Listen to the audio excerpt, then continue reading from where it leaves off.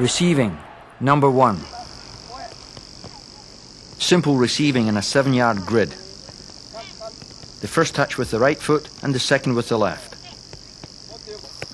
Receiving and taking the ball across the body with the first touch and passing with the inside of the left foot on the second touch. An easy rhythm to the drill and a valuable skill for beginning players. Number two. Now moving to the ball.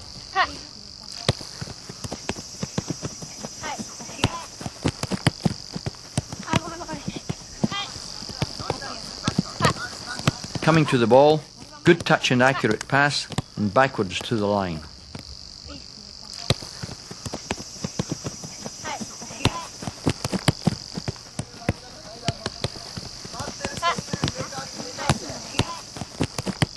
Number three. One touch passing and moving.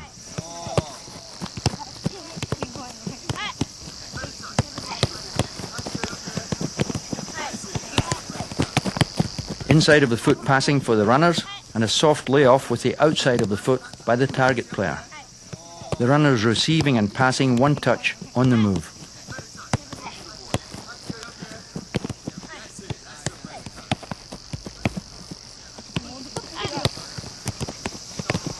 Number four.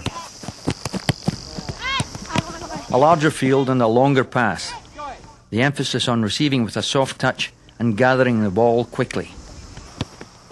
A soft touch around the incoming player and a first time pass to the next station. Nice.